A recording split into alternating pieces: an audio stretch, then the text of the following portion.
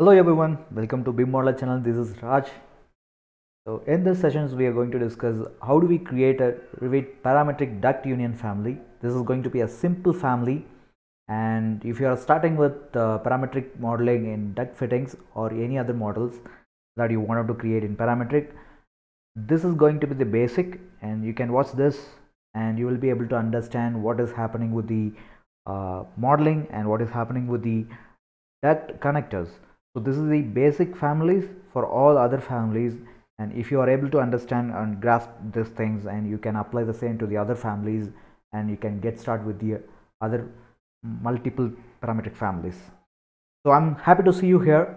So if you're not subscribed to the BIM Modeller channels you can subscribe to the BIM Modeller channels. And uh, we as a BIM modeler we are helping other BIM modelers to learn advanced parametric concepts. uh, from family modeling to the uh, Revit API. So we are also starting up with uh, Dynamo tutorials and uh, Revit API tutorials upcoming next. So if you're not subscribed yet, you can subscribe and do share with the other friends so that uh, let others learn it the same. From this, let's start. Uh, so from the next tutorials, so I'm just having uh, Revit open. So it's simple mechanical template and I'm just wanted to draw a duct how uni, uh, union work actually. So if you have a duct and if you wanted to split the ducts into a two elements you can take the split command which is sl and you can click on any place and it will show you the dimensions that you where you want to click. So you simply click on the positions so it will create a simple family over in this place and you will be able to select it and it's just a simple family a rectangle union family and it does it just have three parameters something like this and we're to create the same from the scratch. File new family. I'm going to take metric generic model open close the other windows. Okay so we just going to first of all apply the family settings that is a duct fitting family this is must settings that you have to do. The second setting which is part type which is not a elbow and this is very much important to Revit to understand whether what it is.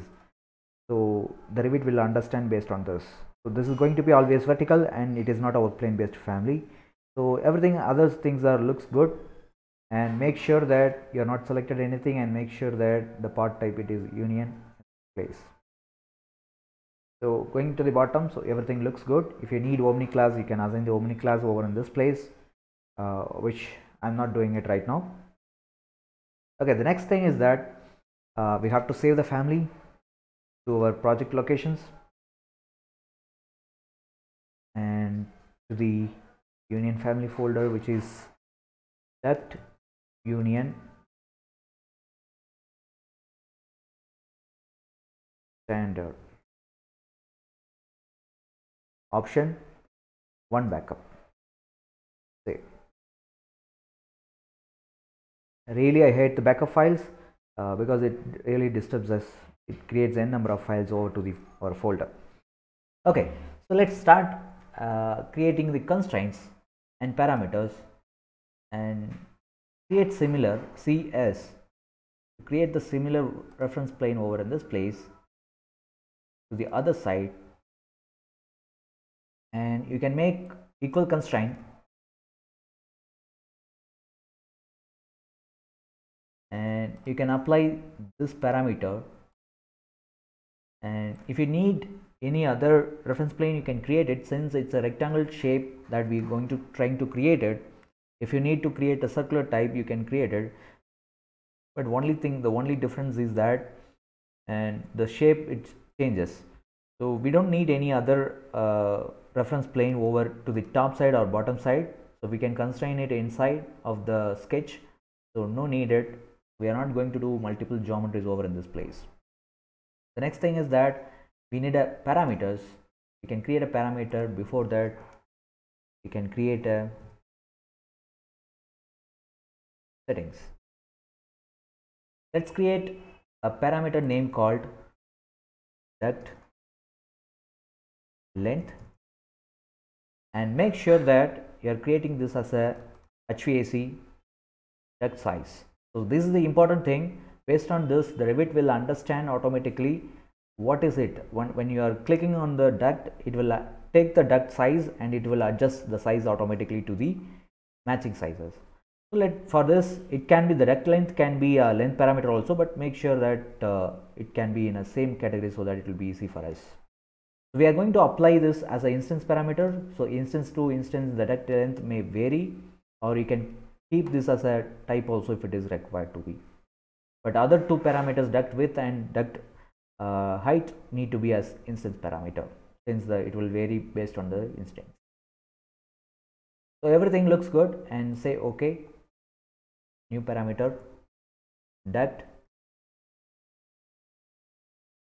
height let me height HVAC duct size instance. Okay. And one more parameter duct width HVAC duct size instance. Okay. So if you are not familiar with reference plane and the parameter creations, we have already one tutorials on it and I will give you the link on the above uh, and below in the comment. So you can reference the uh, top side and you will be able to understand, uh, you can refer those videos and you can get the maximum benefit of out of it. So we'll, we are discussing all the parameters and all the different options of reference plane and how do we use it reference plane and reference lines. All those details are available complete. Duct height uh, we can make this as uh, 300 and for as of now 300 for width duct length we can keep this as 50 you can keep your own length and so that it will be great. And if you need any other parameters that you can fill it out uh, bimmodeller.com so this is our websites. So we are trying to create all the contents as free to all the users. And so we are trying to create this website as open and but still it is in progress of uh, developing it. And we will be coming back to this website as it goes. We are trying to create as many as parameter uh, parametric family and dump it into that. Thank you. Next thing is that we create an extrude parameter from the center and uh, assign the parameter.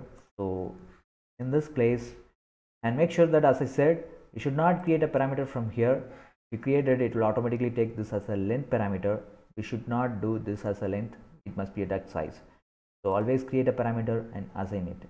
For length that's it. And going to the right side view or left side view the views that you are comfortable. And i'm always right side. And create extrude a rectangle shape. So this is going to be a rectangle union. And place roughly around the center axis so make sure that you are drawing it around the center axis. The center axis will in the middle of the line. And to the right side also make sure that you are drawing it in the along the center. Select these elements. So why i'm doing it as a extrude you can do it as a sweep also it is possible. And but this object doesn't require or it doesn't follow any profile. So it is better to have extrude it is very simple so i'm just creating the parameters in each side. So this is going to be duct width and the other one is going to be duct height. Width and height. So it is equally constrained. So we are not creating any other geometry to constrain it to outside the reference plane. So we are just creating without uh, reference plane. Just finishing it. And you can go to the level. And you make sure that align using align command aligning with this line to the other side to this line. Finish it. Going to the 3d and you will be able to see this geometry. And everything looks good. Uh, we have to create the parameters and we make sure that you are flexibly flexing it so that it makes changes to the dimensions 250 260 like yes it is changing and making control z okay the only thing left is this uh, connector. We have to create a duct connectors and assign parameters and we have to create a symbol and we can able to test the family. So let's go and create a duct connector and select the face. So i'm just selecting this side face and you can have it any side as primary face but you can make sure that always it for a duct fitting you keep it as this side as primary side so that will be easy for us to manage. For this union you can keep it on both sides. It is okay. Then the next thing is that you have to link the connector to understand these two are related and it will connect as perpendicular to each other. So while you connect it. So wireframing it you so that you can see the link between those two and shading it. Everything looks good now and we can save the family once once again. And we can go back to the uh, again to the same place and we can create a model line or annotation line you can create. So it depends on where you wanted to see. And just create it outside so I convenient more convenient to create it outside. So align it perfectly.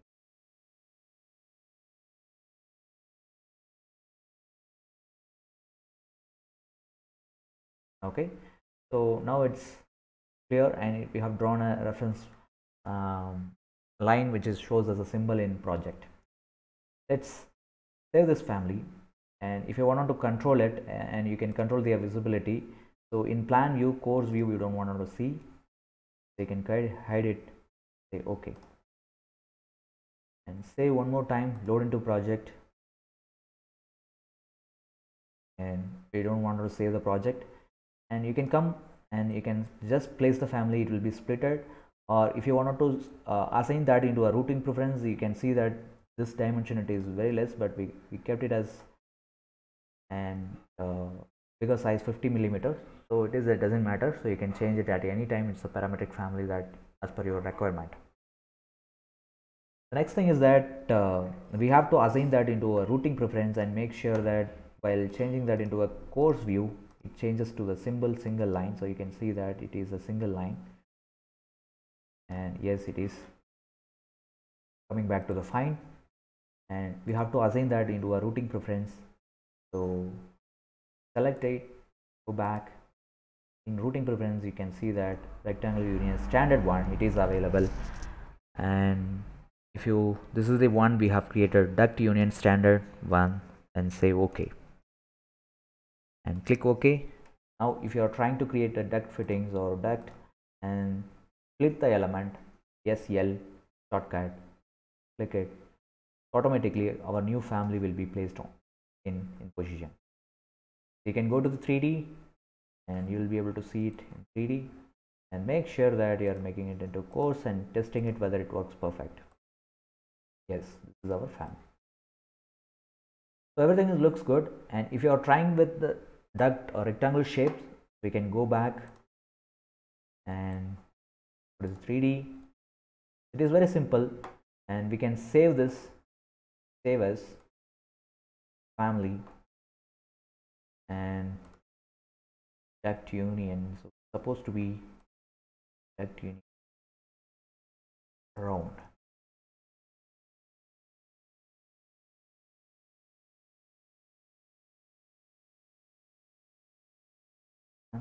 save and you can delete it or you can keep it and we can change it later to a round as a now so we have to change these parameters. So we can go to the right side of the view and edit it. We don't need these parameters anymore. So you can change this parameter as deleted and you can create a, a circle object over in this place select it center mark enable it align it. So this is how you align the circle object to a constrained position in a center place. You can lock all the elements. Create a diameter to this object. And you can select it and you should not create it this way you have to create it here and we don't need it height object and parameters we can remove it. The other one width parameter you can modify that as duct diameter. And it is in duct size okay? Now you will be able to select the parameters and go and assign this as duct diameter. That's it now everything is parameterized and you can finish it. Go to 3d to see it. You have to change these connectors. And make sure that uh, the parameters are assigned. The previous times we have not assigned the parameters. So we missed out.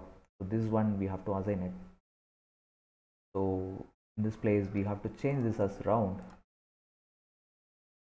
and can assign the diameter as diameter duct diameter. Okay. I hope the connector and primary connections will be connections linking connections and primary connector will be remain same. So we have to open the previous family duct union standard. And we must be make sure that assign the height parameter. Width parameter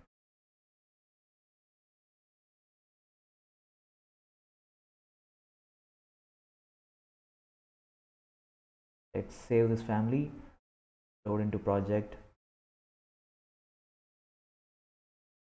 At the existing one. Okay so let's come back to the circle one. So this one it's perfectly looks good. And save this family one more time. Load into project. Okay. Duct let's say this one it is in the 12 inch diameter and split element. I'm just creating the previous one. This is the standard one which is available by default. We have to change the routing preference. Going to the union. Union standard round one. Split command. This is going to be our ours.